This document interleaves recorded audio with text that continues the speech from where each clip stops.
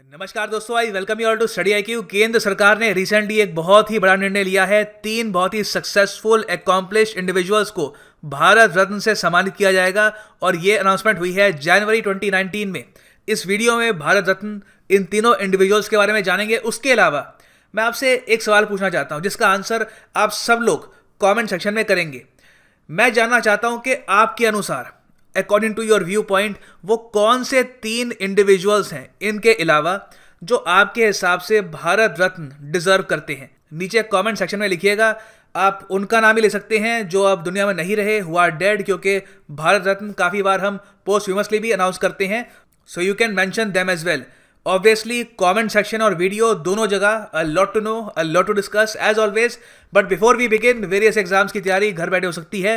With our pen drive courses जिन्हें आप purchase कर सकते हैं स्टडी क्यू डॉट कॉम पे, या फिर you can call these numbers for more information अब मैं आपको ये बता दूँ कि जो अवार्ड अनाउंस किए गए हैं, ये तीन इंडिविजुअल्स के लिए हैं. इनमें से दो अब इस दुनिया में नहीं है, सिर्फ़ एक ही जीवित हैं.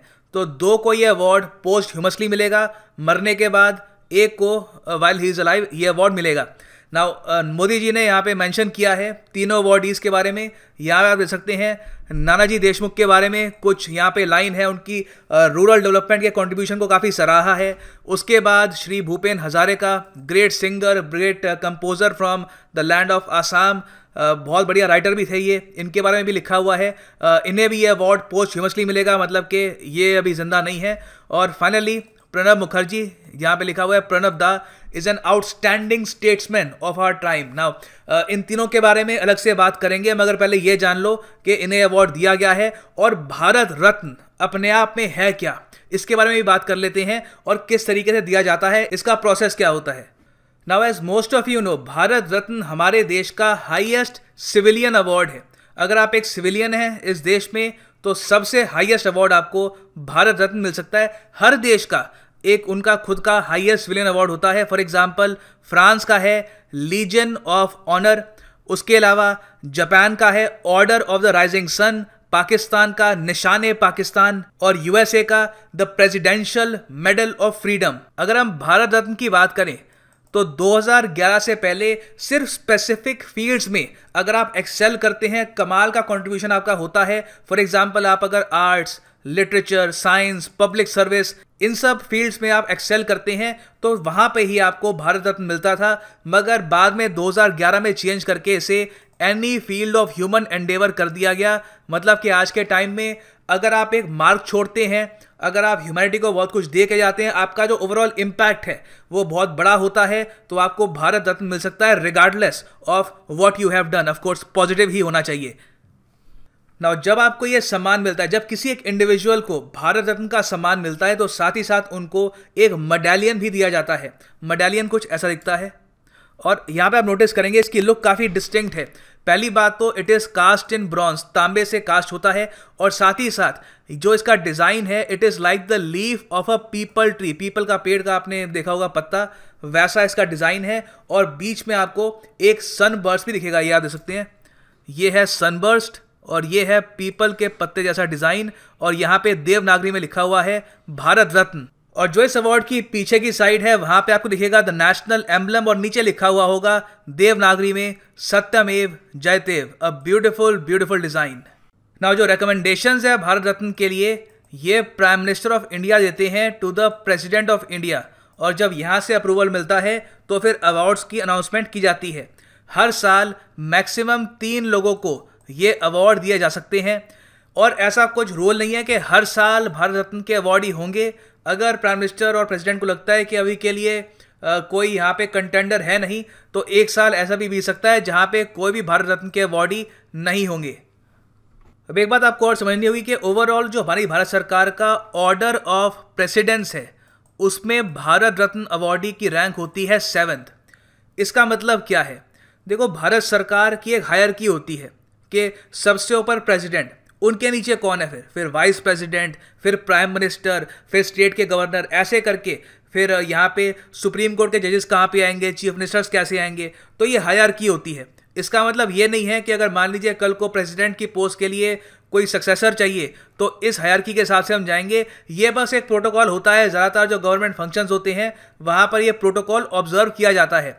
अब यहाँ पे आप देख के काफ़ी सरप्राइज़ होंगे। ऑफ़ कोर्स ऑब्वियस ही बात है कि जो ऑर्डर ऑफ़ प्रेसिडेंस है, वहाँ पे नंबर वन पे तो प्रेसिडेंट ऑफ़ इंडिया ही होंगे, ठीक है? नंबर टू पे वाइस प्रेसिडेंट नंबर थ्री पे प्राइम मिनिस्टर फिर governor of state number five पे है former president for example Pratibha Patil Pranab Mukherjee उसके बाद नंबर छः पे हैं चीफ जस्टिस ऑफ़ इंडिया और स्पीकर ऑफ़ लोकसभा दोनों।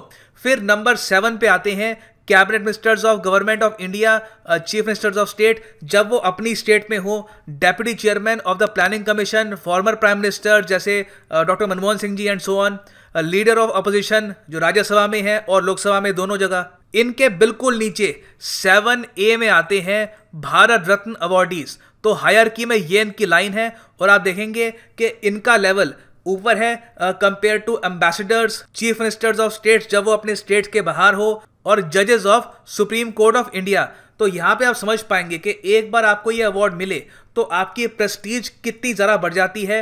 हालाँकि इस अवार्ड में कोई पैसा नहीं मिलता, कोई यहाँ पे मॉनिटरी प्राइज नहीं है, मगर ओवरऑल रिस्पेक्ट और प्रेस्टीज में ये अवार्ड इतना ज़्यादा इंपॉर्टेंट है कि of course any one would want to be a recipient of this award और मैं आपको ये भी बता दूँ कि सबसे पहले रेसिपिएंट भारत रत्न अवार्ड के थे चंद्रशेखर वेंकटा रमन सी वी रमन बहुत ही फ़ेमस साइंटिस्ट हैं और ये जो डेटा है, आज के टाइम में बहुत सी वेबसाइट्स हैं जी के बांटा जा रहा है। तो मैं आपको सजेस्ट करूँगा कि जो सरकारी वेबसाइट होती है, जहाँ पे गव डॉट इन लिखा हो, उनके सोर्सेज इस्तेमाल करिए, वो सबसे एक्यूरेट होंगे। तो एक पोर्टल है knowledge India dot gov dot in उसके सोर्स से मैं यहाँ पे आपको ये नॉलेज ये पर्टिकुलर फैक्ट बता रहा हूँ। तो आगे जाके कहीं पे आप कुछ और पढ़ते हैं तो just refer to this source और साथ में मैं आपको ये भी बता दूँ कि ऐसा नहीं है कि भारत रत्न सिर्फ़ एक इंडियन सिटीजन को ही मिलेगा। हम ये अवार्ड दे चुके हैं। काफ़ी इंस्टेंसेस में नॉन इंडियंस को भी दिया जा चुका है बाय द गवर्नमेंट और नेचुरलाइज इंडियंस को भी मिल चुका है। नेचुरलाइज मतलब कि जन्म कहीं पे हुआ था, बाद में इंडियन सिटीजनशिप एक्वायर करी। फॉर एग्जांपल मदर टेरेसा और दो जो नॉन इंडियंस थे, वो थे खान अब्दुल गफार खान द फ्रंटियर गांधी जिन्हें कहा जाता था फ्रीडम मूवमेंट में इनका काफ़ी बड़ा रोल था। और दूसरे हैं the great South African leader Nelson Mandela. इनको तो खैर ऑलमोस्ट हर कंट्री का जो हाईएस्ट ऑनर है, वो मिल चुका है। तो इन्हें तो हर किसी ने ही सम्मानित किया था। बाकी आपको याद रखना है कि ये दोनों नॉन इंडियंस थे, जिन्हें भारत रत्न दिया जा चुका है। अब जो 2019 के अवार्डीज हैं, इनके बारे में बात कर लेते हैं। सबसे पहले बात करते हैं प्रणब मुखर्जी के बारे में former president of India already जो मैंने आपको ऑर्डर ऑफ़ प्रेसिडेंट्स के बारे में बताया था, जो हायर किया सरकारी गवर्नमेंट ऑफ़ इंडिया की, वहाँ पे Pranab Mukherjee being a former president already काफ़ी ऊपर हैं। अब ये भारत रत्न अवार्डी भी हो चुके हैं। और ओवरऑल आप देखो देखो, कमाल का इनका करियर रहा है। इनका जो पॉलिटिकल करियर है, ये पचास वर्षों का है। पचास वर्ष। और इन्होंने वेरियस मिनिस्ट्रीज में मिनिस्ट्री ऑफ़ फाइनेंस वहाँ पे फाइनेंस मिनिस्टर डिफेंस मिनिस्टर की post foreign minister various post संभाल रखी हैं। और he is a very experience guy कमाल के स्टेट्समैन हैं। और काफ़ी इनका बड़ा कंट्रीब्यूशन है इन द कंट्रीज़ डेवलपमेंट और ये प्रेसिडेंट ऑफ़ इंडिया थे फ्रॉम 2012 टू 2017 एक इनके बारे में इंटरेस्टिंग फैक्ट ये है, हालाँकि सारी उम्र ये कांग्रेस से जुड़े रहे, मगर 1984 में इंदिरा गांधी जी की डेथ के बाद ये कुछ हद तक नाराज़ थे कांग्रेस की लीडरशिप से और इन्होंने खुद की पार्टी बना ली थी। वहाँ पर जो इनका एक्सपीरियंस था, इतना बढ़िया नहीं रहा। फिर बाद में नरसिम्हा राव जी के अंडर 1991 में ये वापस कांग्रेस पार्टी में आ गए और इन्होंने फिर गवर्नमेंट ऑफ़ इंडिया में काफ़ी इंपॉर्टेंट पोजिशन भी संभाली। अब ये सब अकॉम्प्लिशमेंट अगर आपको कम लगती हैं तो इसके अलावा इन्होंने बोर्ड ऑफ़ गवर्नर्स जो होता है ऑफ़ वेरियस फाइनेंशियल इंस्टीट्यूशंस वहाँ पर भी पार्टिसिपेट किया है, वहाँ पे सर्व किया है। और मैं यहाँ पे आईएमएफ के बोर्ड वर्ल्ड बैंक के बोर्ड एशियन डेवलपमेंट बैंक के बोर्ड की बात कर रहा हूँ। और वहाँ पे भी इनका काफ़ी इंपॉर्टेंट रोल रहा था। फिर हम बात करते हैं सोशल एक्टिविस्ट नानाजी देशमुख के बारे में। Very important leader of BJP और बीजेपी uh, आज के टाइम में जहाँ पे खड़ी है वहाँ पे नानाजी देशमुख जी का काफ़ी इंपॉर्टेंट रोल था। उसके अलावा सोशल एक्टिविस्ट थे। रूरल इंडिया में इन्होंने डेवलपमेंट के बहुत से प्रोजेक्ट शुरू किए और ओवरऑल इनका इम्पैक्ट काफ़ी गहरा था इन्होंने। तेरह साल की उम्र में आरएसएस को ज्वाइन किया था। हालाँकि इनका जो पॉलिटिकल करियर है वो काफ़ी लिमिटेड था। ज़्यादातर ये एक सोशल एक्टिविस्ट ही बने रहे और इन्होंने कभी भी कोई मिनिस्टेरियल पोस्ट नहीं संभाली। इनका जो ओवरऑल इम्पैक्ट था सोसाइटी में, वो काफ़ी गहरा था। ये एक बार लोकसभा में एमपी भी बने थे from Balrampur, Uttar Pradesh even though इनका जन्म महाराष्ट्र में हुआ था। इनकी मृत्यु हुई थी 2010 में and he was 95 five years old जब इनकी मृत्यु हुई। भारत रत्न से पहले इनको 1999 में पद्म विभूषण से भी सम्मानित किया जा चुका है। Former Indian president APJ Abdul Kalam ने इनके बारे में कहा था कि इनके माइंड में कमाल की डिवोशन है टू अपलिफ्ट द पीपल काफ़ी लोगों की क्वालिटी ऑफ़ लाइफ इन्होंने इंप्रूव करी थी। ना इस सब के अलावा मैं आपको ये भी बता दूँ कि जब इनकी डेथ हुई थी तो इनकी बॉडी को एम्स हॉस्पिटल को सौंप दिया गया था फॉर रिसर्च पर्पसेस इनका प्रॉपर क्रिमिनेशन नहीं हुआ था, क्योंकि ये ऐसा चाहते थे। फाइनली हम बात करते हैं भूपेन हजारिका जी के बारे में। अ ग्रेट सिंगर राइटर बहुत ही टैलेंटेड इंडिविजुअल थे फ्रॉम आसाम इनको काफ़ी बार कहा जाता था, the bard of Brahmaputra. Bard का अर्थ होता है पोएट कवि। और इनका बहुत बड़ा कंट्रीब्यूशन है टू द लिटरेरी वर्ल्ड और इनका जो सिंगिंग डेब्यू था, ये 12 साल की आयु में 1938 में ही हुआ था।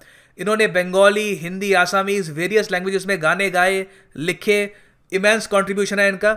और मैं आपको यही बता दूँ कि इन्होंने 2004 के लोकसभा इलेक्शंस में बीजेपी की तरफ़ से इलेक्शन भी लड़ा था फॉर दी एमपी सीट इनके सम्मान में 2017 में पीएम मोदी ने इंडिया के सबसे लंबे ब्रिज का नाम रखा था, भूपेन हजारिका ब्रिज.